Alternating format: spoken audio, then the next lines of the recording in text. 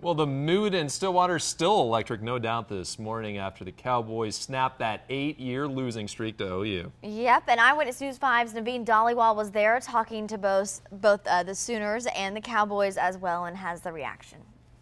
We all know the OSU OU game is a big rivalry game, but the mood here tonight depends It's obvious who the winning team is. Both goalposts at Boone Pickens Stadium come down. So excited! It's a great win. It's a great win. Go Pokes! And fans can't contain their excitement. OSU, go Pokes! It's a call and he scores again.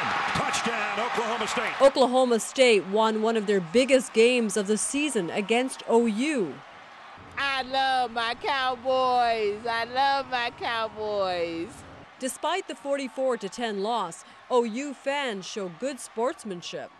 I'm an OU fan, but both of us coming from Oklahoma, we respect OSU. Uh, OSU's got a great team this year, and it just OU's injuries kind of stacked up, and uh, it started snowballing, and we took a good old-fashioned country butt whooping. So, but for some, losing only means getting stronger the next time around. Right this now. is not good. This is we got to go home and regroup and come back next year. This is not good.